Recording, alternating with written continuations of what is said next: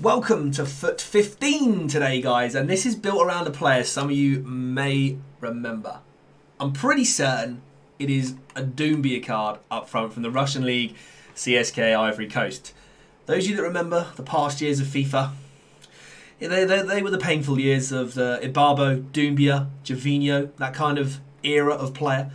The pure pace, the, uh, yeah, it was... Uh, hard times, hard times. Anyway, this is a really, really simple SBC. You can copy my squad. You don't need the chemistry on this one. Uh, it is three nationalities minimum, players from same league, maximum of seven. So your best bet is to put seven players from one league straight in and then fill out the other three positions with another league. Very, very simple. I haven't even got very many good green lines for chemistry. Nine gold players minimum. I've used 10 because why not? 75 chemistry. We've got extra 13 in reserve. So if you do copy this squad, you will still have a spare three. Uh, 10 players in the squad.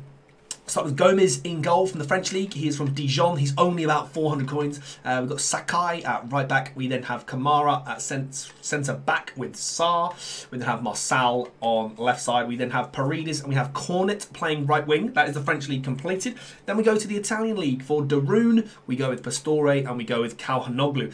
Really, really straightforward SBC. You get a jumbo gold pack. It is not a great pack. It's effectively a 15k pack with way less rares.